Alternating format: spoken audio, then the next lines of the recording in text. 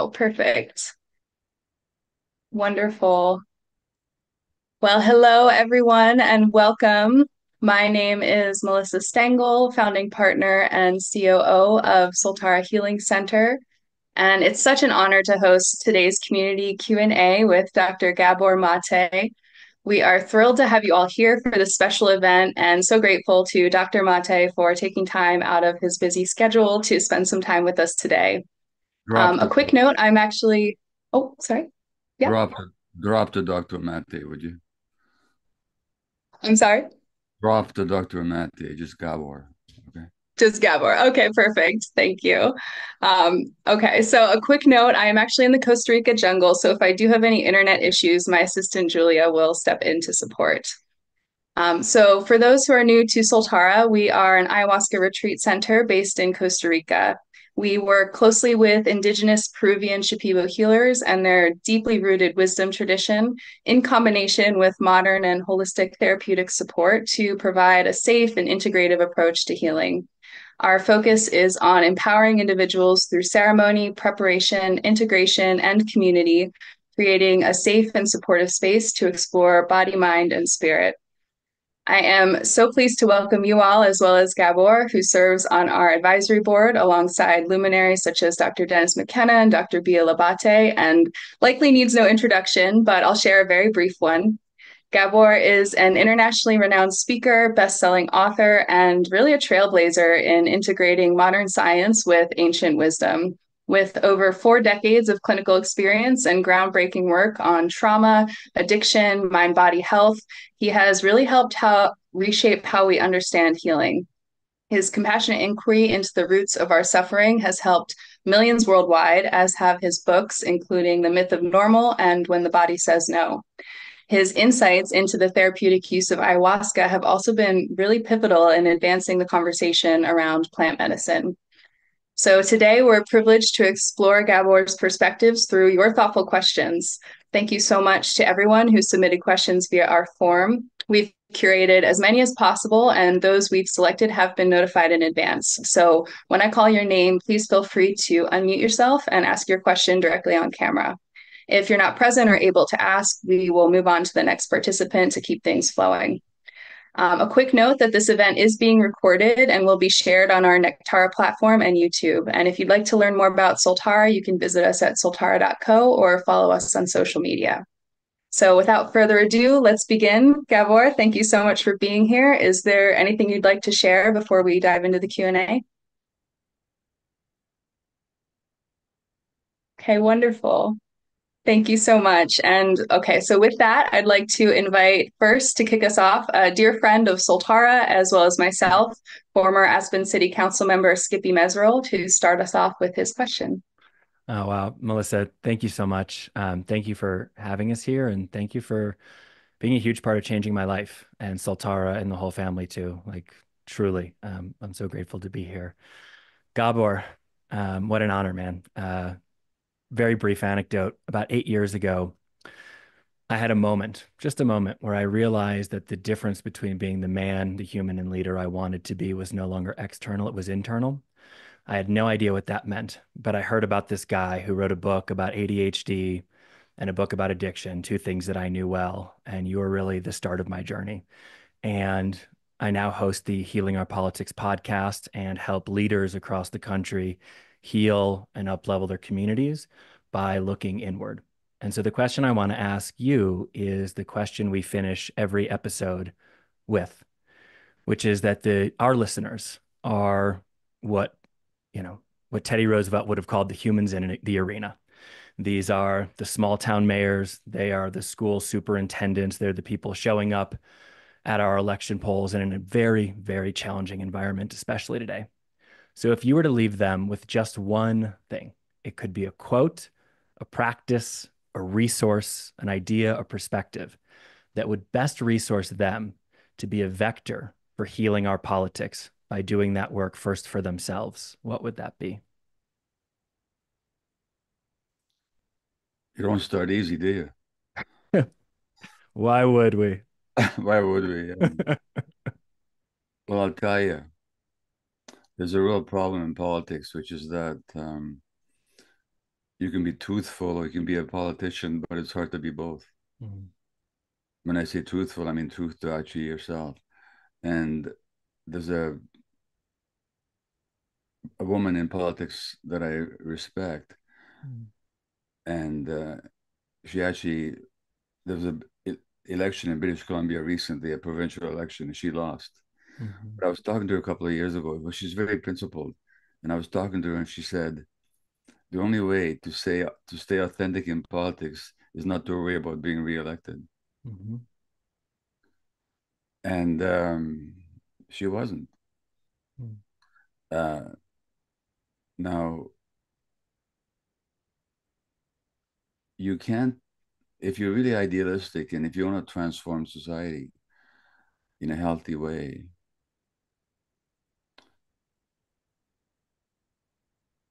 you really need to be true to yourself. If you're not, then any change that you're going to effect is going to be inauthentic. Mm. But the problem is that if you're authentic, in today's political world, it's very difficult to make it.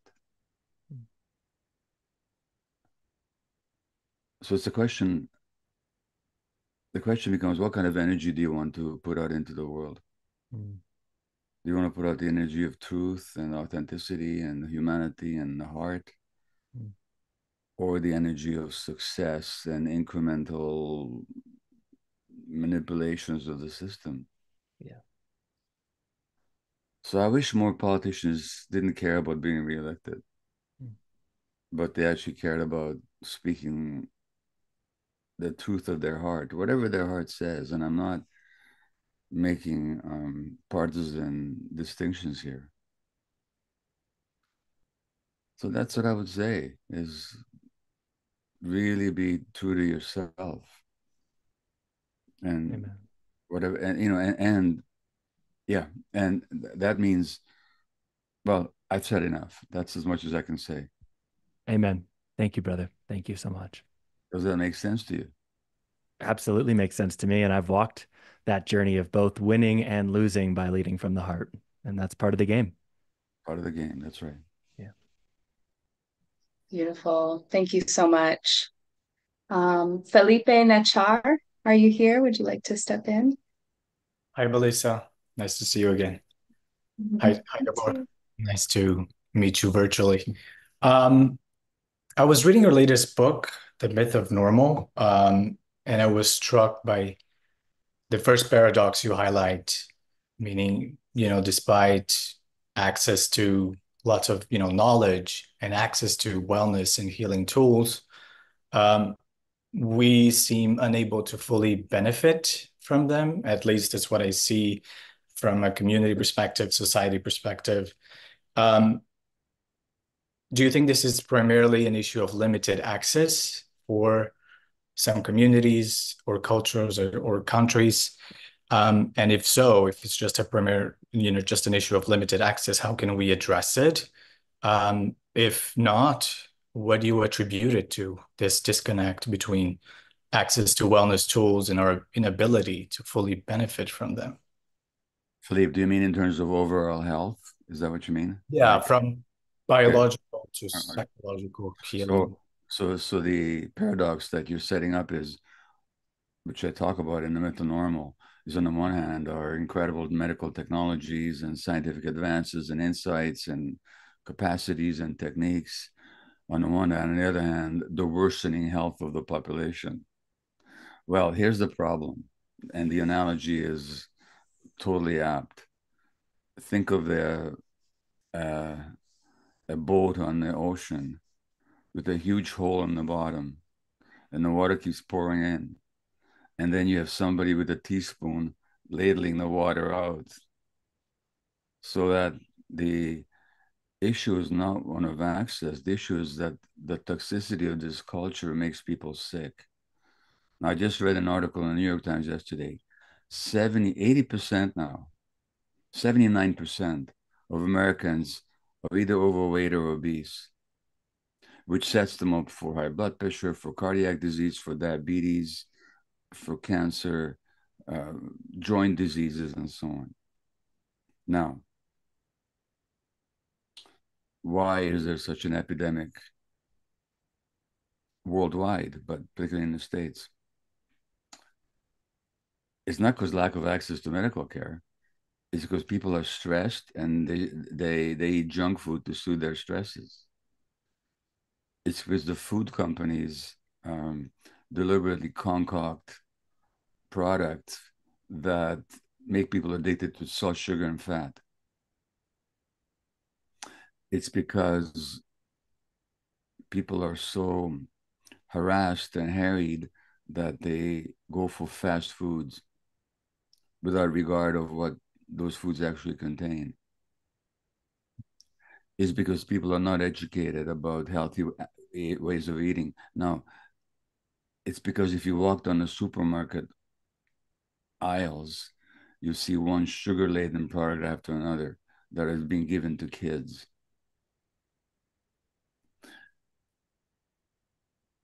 It's because of poverty where healthy food becomes forbiddingly expensive.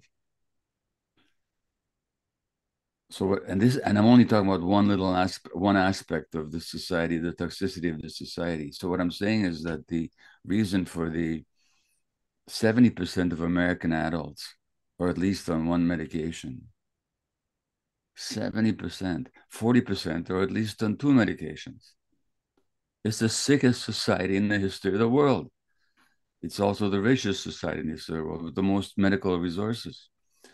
So the problem is not one of healthcare. I mean, there's all kinds of problems with healthcare, but the problem isn't with healthcare as such only. It's also with the way of life that people pursue when they're alienated from themselves, which in this culture they are. So it's a much broader issue than just healthcare then we could I could talk for hours about what's wrong with the healthcare system. But even if we had a perfect healthcare system, if people are living lives that toxify them, we would still have the same problems.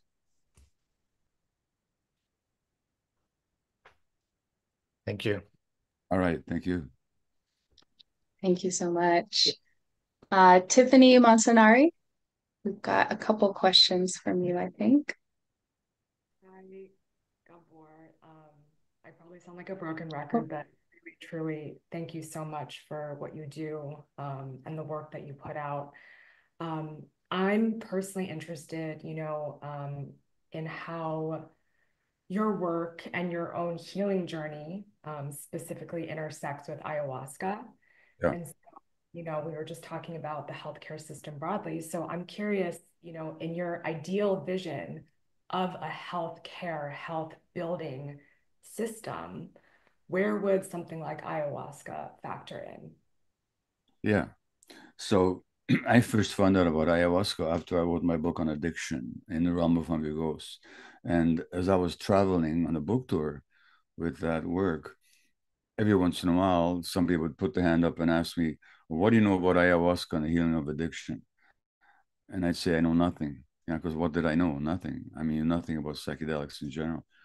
Then at the next talk, what do you know about, uh, you know, nothing. What do you, next talk? I finally got sick of the question because I, I thought, you know, well, for God's sakes, I've just spent three years pouring my life's work into this book, and you ask me about the one thing I don't know anything about, you know? finally somebody said, you know, you could experience this uh, plant even here in Vancouver, where you live in British Columbia, because there was a Peruvian shaman who was coming up here to lead a retreat, a ceremony. And I participated in the ceremony, and within half an hour, I got it because I experienced a deep heart opening that made me realize why people were asking me about addictions because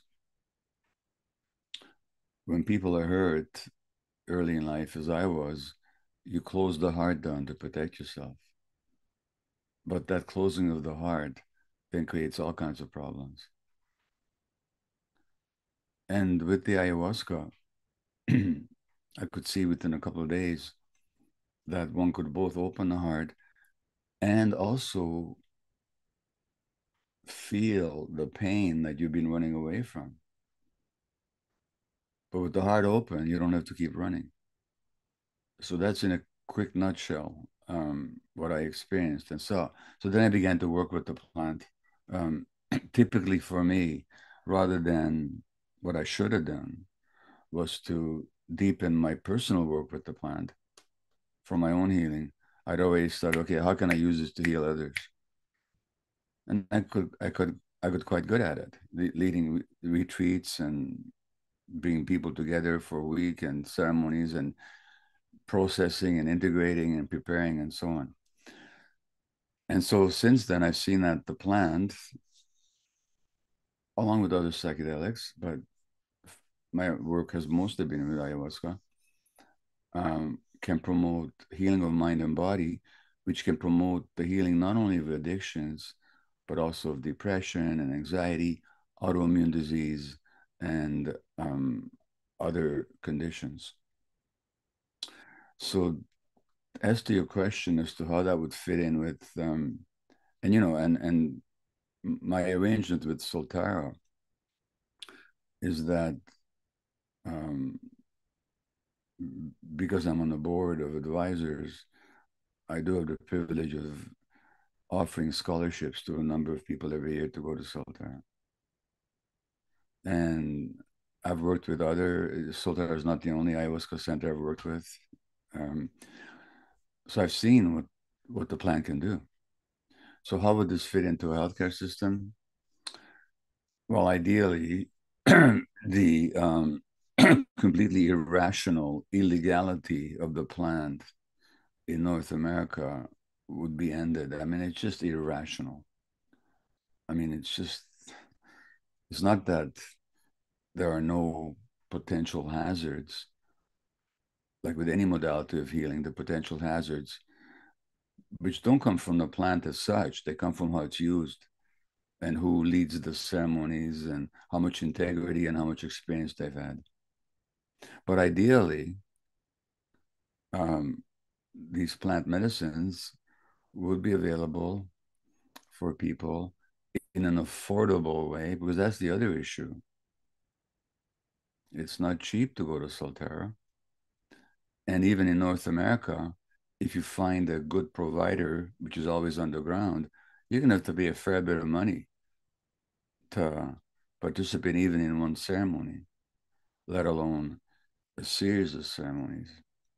So there's all kinds of potential problems. But ideally, knowing that these plants can offer benefits that Western medicine can't even conceive of, they'd be integrated into a, an open healthcare system where people would be made aware of these potentials of these plants, particularly ayahuasca, where authentic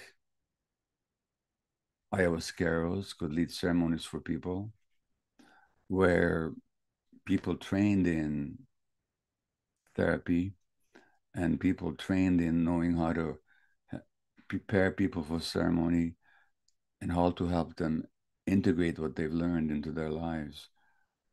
These would be incorporated into a much more open and broader healthcare system than we have right now, ideally. Again, there'll be all, all kinds of practical problems with availability of properly trained ayahuasqueros, let alone the question of appropriating cultural appropriation, which is another issue. So it has to be done with respect for the origins and the originators of these modalities. There's the question of cost and all kinds of problems. But these could be worked out given some goodwill and given some expertise. So I'd see I'd like to see them integrated to the degree that's possible. Thank you so much. And as just a quick follow to that, you know, you talked a lot about heart opening. Um, and, you know, I've heard you speak about your ayahuasca experiences in other places, but um, I'd love to know more specifically because the ayahuasca purge is something that a lot of people are afraid of before going yeah. into ceremony. And I'd love to know from you personally, what does the purge mean to you? and how does that factor into the healing that you can find well you know uh, if you um, people confuse the purge with being, you know, like when you say I got sick to my stomach, people talk about throwing up. So people confuse the purge, the purge with getting sick, but it's the opposite. If you read Dante's uh, Divine Comedy, the first uh, book is about inferno, hell. The second book is about purgatory, where people are purged of their sins. And if you look at the Aramaic or, or Greek meaning of the word sin, it's not some terrible thing you did. It's a mistake you made. It's a misunderstanding that you had. It's where you missed the mark. And when we purge, it's not that we're being sick. It's that we're getting material, getting rid of material or, or expelling material that doesn't belong to us that somewhat toxified us. So I myself, when I take part in ayahuasca ceremony, not that I like sitting there with that queasiness in my belly, I really don't like it. But boy, do I feel great after I purged. There's just a whole body ease and relaxation and sense of wellness, not a sense of wellness, a wellness. So people should not confuse purging with being sick. It's just the very opposite. Thank you so much, Gabor. Yeah. Thank you so much. Um, Chelsea Chisholm Vargas, I'm going to ask you a question. Yes. Hi, y'all. Hi, Brother Gabor. It's nice to meet you here. Uh, my name's Chelsea. And I should say, too, before I um, just straight up ask my question. I am a community organizer, community health worker here in Chicago. Um, I operate a food pantry on the South Side, so a lot of my work is really um, has always been in just direct service. Um, so, my question is as many of us who are in the midst of focusing deeply on healing our individual trauma, connecting to our most inner self, and protecting our energy, particularly through psychedelics like ayahuasca, how and when do we intentionally transition into connecting with the collective trauma of a world in the midst of intense global suffering? And what steps help us in turning our individual healing into a gift for shared healing?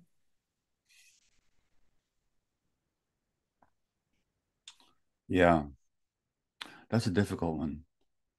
And it's difficult because when people come to ceremony, they have recognized that there's something to work on, some healing that needs to happen. But you can't force anybody to come into ceremony. You can't force anybody to seek healing. And it is a very sick world if we look at it today even without going to the specific politics, uh, even without going in, I mean, I could talk about the suffering that's taking place.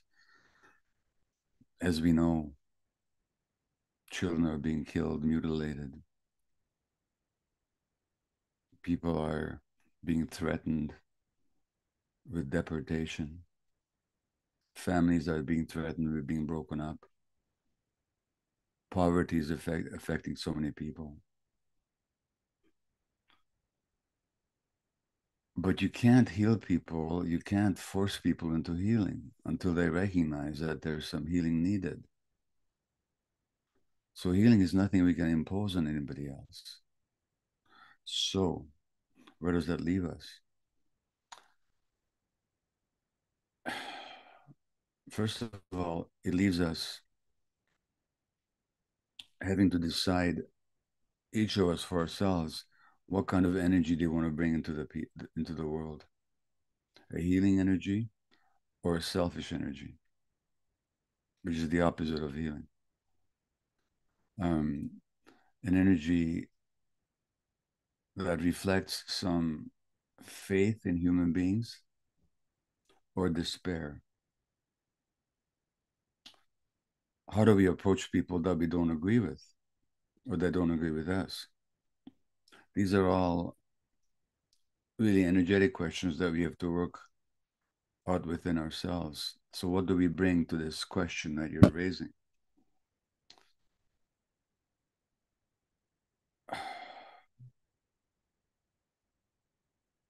And then, can we join with others who share the same intention and the same energy? In other words, do we just um, um, labor on by ourselves as individuals, or can we come together in communities with like minded people? And then it's a question of location and possibility. Like, what can you do? I mean, I, I'm, I'm not going to ask you personally, but I imagine the recent election in the United States would have generated a lot of anxiety for a lot of people, a lot of fear, perhaps. For other people, the election was a vindication and a victory. I don't know how to bring those two sides together. I have no idea. All I can say is how can we show up in this world as individuals and as communities and as groups trying to bring as much healing energy and hoping that that energy will then attract others? Beyond that your question is a social one and a political one. And i'm not going to put myself into a position of advising people on that because my politics is not the same as other people's politics. And unfortunately, in this world today, people are living in bubbles where there's barely even communication. People in one group and another. Um, that's about all I can say. And it's a very unsatisfactory answer.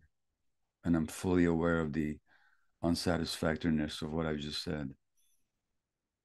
But in a short conversation, that's about all I can tell you. I don't know if that made any sense to you or not, but I found myself babbling a little bit, trying to look for some proper answer here. But does any of that make sense to you?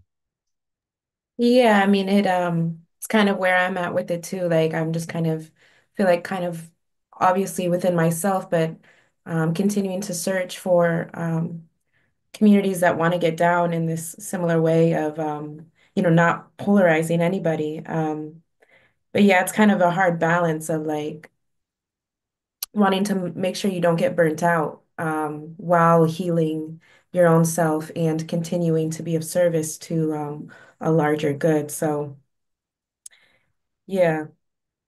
Well, that last thing you said is really important because um, if you don't take care of yourself, you will get burnt out. Mm-hmm. And here's the reality you and I and everybody else in this call could work 24 7, seven days a week, 365 days a year, and will only be a drop in the bucket of what's required. Mm-hmm. And, and I don't mean that as a pejorative, I just mean that's the nature of the world. So if we burn out, if we take it all on, and we have to do it all, we have to do it all right now, and it's all on us you're going to get burnt out. Mm-hmm. So self care is really important. Yeah. Yeah. I even found myself during my own ceremonies, like I'm struggling with like, you know, I'm I'm here focusing so deeply on myself and what does that mean to be doing that um, with all the suffering that's going on. I, I dealt with selfishness around that too. Um, well, let me ask you, let me ask, sorry, interrupt, let me ask you a question when you do that work on yourself in ceremony, does that enhance or inhibit your capacity to help others? Definitely enhance. So there's not a question of selfishness. Yeah. There's no selfishness there. Mm-hmm. There's no contradiction there. Okay. Thank you. Thank you. Oh, so beautiful. Thank you so much, Chelsea. Uh, Miranda Sousa, are you in the room? I'm here. Hello, everyone. Hi, Gabor. Hi. Just want to say how incredibly grateful I am for you and the work that you do. My question for you today is what practices or mindsets do you find most helpful for individuals who've made significant progress in their healing journey, but still feel trapped by residual pain from childhood trauma? Well, you're talking about all of us, including myself. Uh, but are you make? Can I ask you? Is this a personal question? Absolutely. So can I ask you a question? Yes. If you look at Miranda, say 10 years ago, and Miranda today, and if you compare the two Mirandas in terms of liberation from the constraints of childhood pain, which Miranda would you rather be 10 years ago or today? Today. Right. In other words, it's an ongoing process. And your word trapped may not be appropriate. You're not trapped at all. You just haven't gone as far as you want to go yet. But but trap means you're stuck in the same place. When you're trapped, you can't move. An animal caught in a trap can't move. They can't leave. They can't go somewhere else. You have not been trapped. Over 10 years, you've moved along, have you not? So why do you talk about yourself as being trapped? If you're saying, no, I'm not making you wrong for it. I'm actually asking a question. And I'll give you the answer right away. Because to the child self, it feels like I'm trapped. So that when those painful feelings and, and those coping mechanisms dictated by childhood pain arise, you think you're back in the same place. That's the child mind. Because for the child's mind, the present moment is eternity. But if you actually look at it more objectively, you're moving along. So trapped, you're not. But I got to tell you, it's a lifelong process. So I, as I've often said, you know, I, I mean, in a couple of months, I'll be 81 years old. Okay. And honest to God, when I'm 81, I'll be able to look back and say to myself, thank God I'm not as young and stupid as I was when I was 80. You know? So it's not a question of being trapped. It's a question of revisiting old places and then you move on. I hope that answer makes sense to you. It does. Thank you. And by the way, next Tuesday morning, I have an appointment with a therapist because there's some things I've had to learn recently I haven't figured out yet. I haven't healed from yet. So it's an ongoing process. So when you do feel have this perception of being trapped, you reach out for help. I do. You know, that's what I got to say.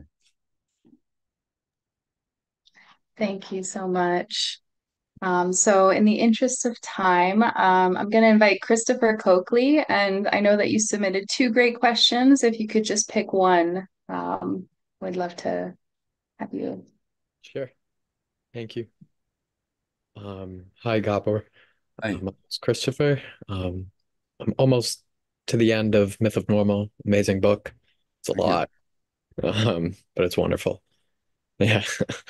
Um, my question is if you have any advice on how to become more aware in the moment of the difference between experiencing and expressing um, healthy, albeit challenging emotions versus expressing or acting out of unhealthy triggered trauma response. Because when I'm in the throes of it, I can't tell often until the damage is done. And there, afterwards, there is wonderful reflection. And I can feel that I grow from it and it sort of lessens over time. But in the moment, I struggled to Yeah. tell the difference.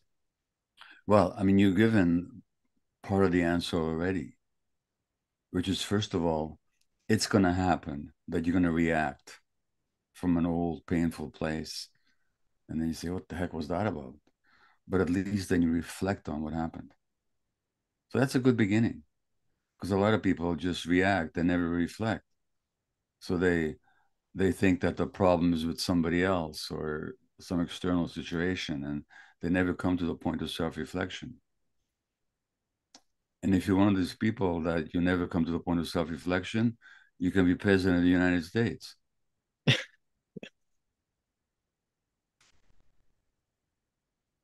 or any of any party, by the way. Because when you look at um, people in politics, what they never do is reflect. They even talk about not reflecting. It's very interesting. Hillary Clinton and Donald Trump both said the same thing about self-reflection. We don't do that because we don't want to find out what what may emerge. They both said that almost in literally the same words. So self-reflection is really important. So that's not a negligible thing that you're doing if you reflect afterwards. Because the more you do, the less likely you are to react again the next time. So that constant and, and frequent self-reflection. And I have an exercise for that that I won't go through it with you now, but it's really important. Now, the other thing is, I'm going to ask you a question. When you react out of an old pain and, and out of an old wound, what do you feel inside yourself just before you do? If you could, if you could imagine you being in that state now, can you imagine that right now? Okay, what do you feel inside yourself when you're in that reactive state? Terror. Terror. Okay. And that's already um I'll take that, but that's already um, a descriptive word. I'm asking you, what do you experience in your body? Mm. Um, a, a, a chasm in my chest, um, a void, and it's painful. Okay. That's a very powerful signal. What do you experience when you are able to respond from a present moment requirement or need? What do you experience then? Um, I feel very solid. Chasm, pain on the one hand, solid on the other. Your body's telling you the difference. Mm-hmm. So, what you need to develop here is more body awareness. Mm-hmm. And whenever you feel that pain and chasm, you say to yourself, I'm experiencing pain and chasm right now. Mm-hmm. I need a timeout. I need a moment. Mm-hmm. Now, we all get caught in reactivity. I do, you know. But the more body awareness we can bring to the moment, so that's just the practice of of of learning some body awareness here, and then don't try and figure out in your head. Your body will tell you the answer. The body is telling you the answer as it just did. Mm-hmm. Right. Fair enough. Yeah. Thank you so much. You're welcome. Thank you. Thank you, Christopher. Um, so I think we have time for just one more question. Um, so I'm so sorry we might not get to everyone. Um, Zifeng Wei, are you in the room? Yeah, yeah, yeah. Yeah, I am. Yeah. Thank you so much uh, for giving me the opportunity. Uh, just a little bit of a personal anecdote. So um, I was born in China and uh, moved with my parents to Budapest uh, when I was two years old, but they were too busy, so so uh, they sent me uh, like magyarul. Uh, so they sent me back to um, uh, China with a stranger to live with a grandmother that I've never met. Hmm. Uh, and so I can relate to your story uh, a lot. Of course, it's not as uh, uh, as stressful from the mother's side, uh, but as a baby, uh, I assume it's quite uh, stressful as well. And then um, and then returned to my parents when I was five years old, and um, now I'm an entrepreneur and quite driven. And and the question is, you know, it often seems like um, those who have suffered these kind of a childhood trauma of you or you know David Goggins or other uh, successful entre- entrepreneurs or athletes, they, they have this certain drive that allows them to succeed in life. You know, this uh, addictive hard work. You know, in in sports or financially or in business, and then I guess what's the the question is how how do we contend with this uh, dichotomy? You know, uh, can we treat it um, uh, this trauma or or or channel uh, or treat it as like a positive force or, or channel it in, in a positive way? Sure. Yeah, I guess that's sure. That's a really important question. Um, let me ask you a question first. I mean, I hear what I hear you suggesting, and I think it's absolutely true that that early trauma can give you a kind of drive that helps you succeed in the world. Yeah, yeah, yeah, and and maybe that's the reason uh, you think you, you think are successful. It may be contributing to it for sure. But here's my question to you: What price do you pay for that? Yeah. What's the price? Yeah, you uh, neglect your your family and yeah, your your loved ones, and uh, I'm beginning to, and after reading your book, you know, and uh, I'm beginning to see that and, and trying to change, and and it's improved a lot, you know, uh, with the uh, family, but it's still difficult to have this. Oh, I understand. So there are two questions here. One is a theoretical one was is that trauma necessary for success? Yeah. That's one question, but that's purely theoretical. Then there's a practical question what is it costing you now? And do you want to continue that way? Mm. Second question you can deal with. The first question is a theoretical one. Now, here's my answer you talked about being driven, right? The drive, yeah. the drive. Now, how much freedom is there in being driven? When a leaf is driven by the wind, how much freedom does that leaf have mm. to choose its own direction and momentum and velocity? Does that leaf have any freedom at all? I'm mm. asking a question. A leaf no, by the no. wind None. Yeah, not much. Not yeah. Do you want to be that leaf? Or do you want mm. freedom? No. That's the first question. The second question is the entrepreneurship and the work that you do. It's creative work, isn't it? At the moment, no. I guess uh, not a little bit, but uh, not as much uh, as electronics manufacturing. Okay. okay. Not as much as I would like to be. Yeah, and all right. In a way, I'm being driven, as you're saying, by this wind. I guess.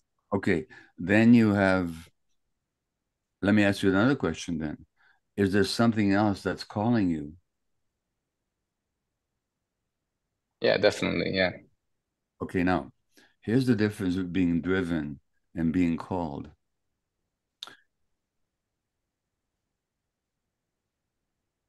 If I call you up on the phone, you have the option of answering or not answering. If mm. I hmm. phone you up and say, Zhang Wai, will you have coffee with me? You can say, Yes, Gabor, I'll have coffee with you. Or no, Gabor, I'm too busy to have coffee with you. I don't feel like it. There's freedom in being called because you get to decide whether you want to answer the call or not.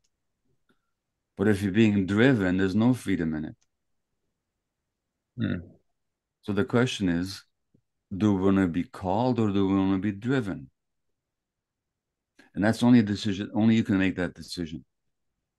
And if you choose being called, you may have success in the world or you may not. There's no guarantees. The question is do you want to be free or do you not? And that's only nobody can answer that question for you. But I can tell you in principle that the people that choose freedom, they may or may not experience the success in the world that they valued so highly, but they experience a different kind of success. And I've often mentioned a book um, that kind of reflects my own findings, but this is book was written by a palliative care nurse in Africa, in, in Australia. And I used to work in palliative care, looking after terminally ill people. And this nurse working with palliative care people found she wrote a book called The Top Five Regrets of Dying People. You know what the top regret was? That I wasn't myself. These are people that died before their time of cancer. Another regret was I worked too hard. I neglected my friends. Another regret was I didn't experience uh, express my emotions, and I didn't allow myself to be happy, to play enough, I worked too hard. Now the question is, do you want to be on your deathbed having those regrets, or would you rather decide now in favor of freedom? Nobody can tell you what to do. Mm.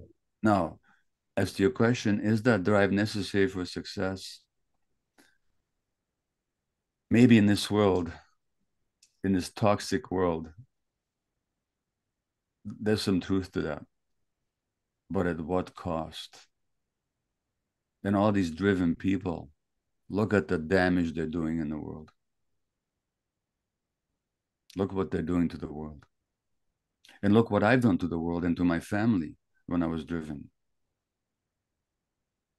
So I'm really glad you're asking the question. And I hope you'll engage with it very deeply. Okay? Yeah. Thank you so much. Yeah. Thank you. Amazing. Thank you. Wow. Beautiful, beautiful answer, beautiful questions. Thank you, Gabor, for sharing your wisdom with us today and for offering such insightful perspectives on these important questions your work continues to inspire and transform the lives of so many. And we're just so deeply grateful for the time and care you've offered to our community and to have you on our advisory board. Thank you. So to everyone who joined us, oh yeah. Sorry, I just want to mention one thing. I did see a question. Where do I find a therapist? Now, um, Soltara um, has partly been informed by compassionate inquiry, which is a therapeutic modality that I've helped to develop and I've trained. Uh, it's a year. It's it's a very deep training in a, in a mode of therapy. It's not the only mode of therapy. I'm not claiming it's the best either, but it's the one that I've developed. If people are interested in in therapy, or if those of you are therapists, you could actually consider taking that training. You can look up compassionate inquiry online. Those of you that are looking for therapists, it's one modality of therapy you can look up, and you can look for compassionate inquiry practitioners online and now they exist all over the world. And I know that to some degree, Soltara employs it in your own in in your own processing of people. So it's called Compassion Inquiry. You can check it out online. I just wanted to mention that. Uh, thank you so, so much. And uh, we will send an email, a follow up email, and sharing our Soltara network where we do have practitioners who have trained in Gabor's uh, compassionate inquiry. So if you're looking for someone, they do sessions globally all over the world as well. Um, so, to everyone who joined us, thank you so much for being here and for your thoughtful questions. It's really your engagement and curiosity that make events like these so meaningful. And if we couldn't get to your question today, please know how much we value your participation and we'll aim to address more of these topics in future sessions. So before we wrap up, I'd love to invite you to connect with the Soltara community through our virtual platform hosted in collaboration with Nectara. It's an incredible community space where we have monthly virtual events and gatherings, workshops, resources, courses, spaces for connection, and as well as I mentioned, this carefully vetted network of practitioners. Um, we offer a free membership, and then for those looking for full access, we have a plus membership. If you've attended a retreat with us, this plus membership is included for a full year as part of your experience. Um, so we'll share more details and a link to sign up in our follow up email. And we'll also share the recording of this. So please stay connected with us on soltara.co and our social media for updates and future events. And Gabor, is there anything else you'd like to share before we close? No, I'm just just my gratitude to be able to be connect with um, this work and with communities such as yours that are dedicated to the work. It really has enhanced my own life, and uh, deepen my own understanding of life. So Yeah. thank you. Thank you. We're so equally grateful. Thank you so much, everyone, and we look forward to connecting with you at future events. Have a wonderful you. day. Thank you. This was wonderful. Bye. Gabor. Thank you. Thank you. you so much. Lovely. Thank you so much. Care, everyone. Take Thank care. everyone. Thank Thank you. Thank you. you. Thank you. This was awesome. Thank you very much. Amazing, man. Amazing. Thank you all. Thank you all.